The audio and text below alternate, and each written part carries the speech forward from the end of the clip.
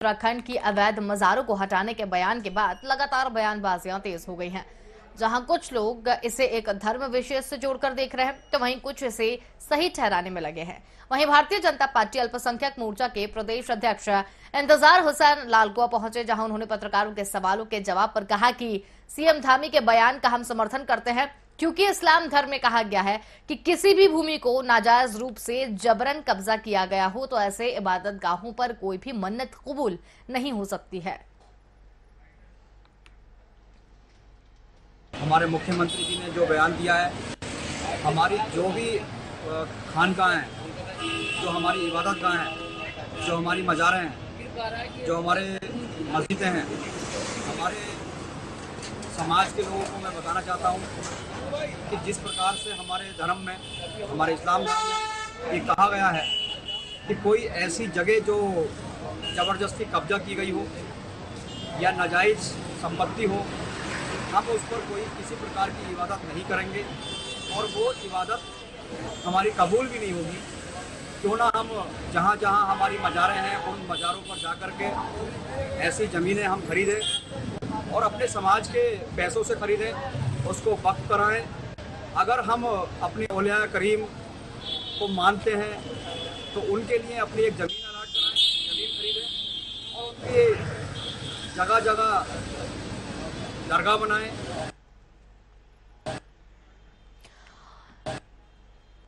और ज़्यादा जानकारी के लिए संवाददाता मुन्ना अंसारी हमारे साथ में यहाँ पर जुड़ गए हैं। जी मुन्ना, आपसे जानना चाहेंगे कि अवैध रूप से कब्जाई मजारों को हटाने के ऊपर सीएम ने एक बयान यहाँ पर दिया था। क्या कुछ अधिक जानकारी? जी, हम बताना चाहेंगे, एक कार्यक्रम में बीते दिनों मुख्यमंत्री पुष्कर सिंह धामी ने एक बयान दिया था, जिसमें उन्होंने उत्तराखंड की अवैध रूप से जितनी भी मजारे हैं, उनके खिलाफ कार्रवाई करने के उसमें बयान दिया था। जिसके बाद यहाँ पर हल्द्वानी दौरे में भी आए थे सीएम बीते दिनों उसके बाद उन्होंने इसमें सख्ती से काम करने के लिए भी, इसमें हटाने के लिए जिलाधिकारी को निर्देश दिए गए थे कि जितनी भी मजारे हैं उत्तराखंड में, उनको चिन्हित किया जाए और जो रजिस्टर्ड नहीं है इसमें, बग बोर्ड में उनको पूरी तरीके से हटा दिया जाए। साथ ही बताना चाहेंगे, इसमें बीते काफ़ी लंबे समय से लोगों की मांग भी थी अवैध रूप से कई मजारे बनाई जा रही हैं और वन विभाग की भूमि पे अवैध रूप से इसको कब्जा किया जा रहा है। तो जिसको लेकर मुख्यमंत्री ने बयान दिया था, जिसके बाद एकदम भूचाल आ गया था और कुछ साधु संतों ने भी इसका समर्थन करते हुए उन्होंने अवैध मजारों के खिलाफ एक मुहिम चलाई है और जो जो कि आसपास शहर में या फिर ग्रामीण क्षेत्रों में या फिर रोडों के आसपास जितनी भी मजारें अवैध रूप से बनाई गई हैं, उनके खिलाफ उन्होंने अभियान चलाने की मांग भी की गई थी उनके द्वारा। तो इसको लेकर ये जो बयान दिया था, इसके बाद ये लगातार भाजपा में और फिर कांग्रेस में लगातार इसमें खींचातान हुई। कुछ लोग समर्थन में भी रहे, कुछ लोग इसके विपक्ष में भी रहे।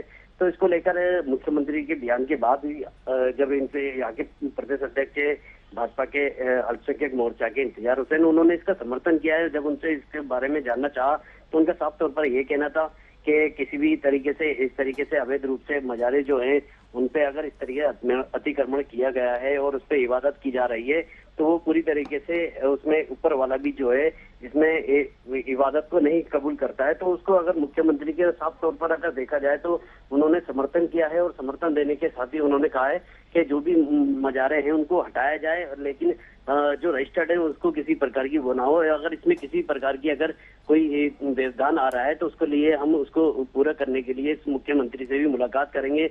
और इसमें अगर कोई किसी प्रकार की अड़चन आ रही है तो उसको भी हम दूर कराएँगे। लेकिन जो अवैध रूप से जितनी भी मज़ा है उनको हटाया जाना चाहिए और मुख्यमंत्री का बयान पूरी तरीके से सही है। चलिए बहुत धन्यवाद हमारे साथ में जुड़ने के लिए और तमाम जानकारी हमारे साथ में साझा करने के लिए।